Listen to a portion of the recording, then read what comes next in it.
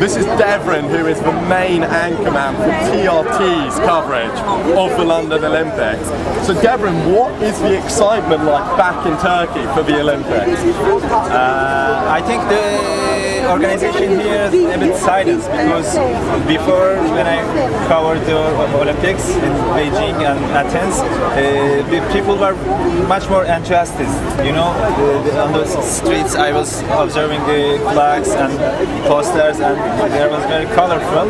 But in London, maybe it's about your, uh, from the Turkey, this is this. Maybe it's about your character, you know, your country is... The British cynicism, yeah. Yeah, yeah. In, in uh, among our colleagues uh, in TRT office and uh, with my friends, we are talking about this.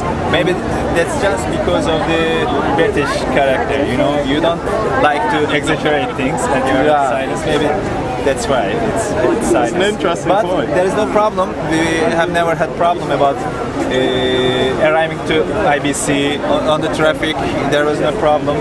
The employee on the IBC and uh, other facilities are very nice. Uh, They were very helpful, of course. I didn't have any problem, and it was I'm glad good to hear organized, it. well organized, and the people do their job very well. I think. It's, of course, great. Good. So how big is the television audience back in Turkey for TRT? Uh, TRT is a state television in Turkey and the biggest and most common Uh-huh. across the country. And we are here 60 uh, employees with the anchormen, uh, correspondents, and uh, yeah, technical staff.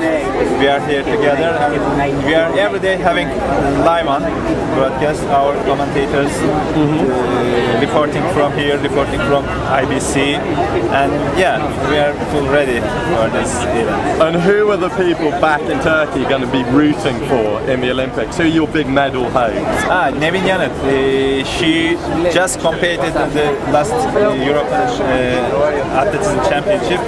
He won three gold medal, and now on the 100 meters and uh, 400 meters, we are hoping medals from her. And also Turkish basketball ladies team and also volleyball ladies team. Uh, we are hoping medals from them. That's where you'll learn them. Good luck with those, Thank and I hope much. it goes very well.